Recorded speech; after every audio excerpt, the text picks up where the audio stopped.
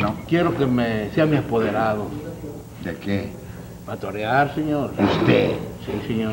¿De picador o qué? No, no, no, no. de- de- de- Pues como está de con panzón. Puntero, de puntero, señor. De novillero puntero. Sí, y nomás estoy pensando por el nombre. Bueno, hay un panzón que se llama Salerito, que fue, que, que, que fue... No se va a hacer mi mozo de espadas. Yo estoy pensando por el nombre, porque a Manolo, ¿cómo le dicen Manolete? Manolete. A Pepe Pepete. Pepete. A mí me dicen el ojito. Ay, ay, bueno.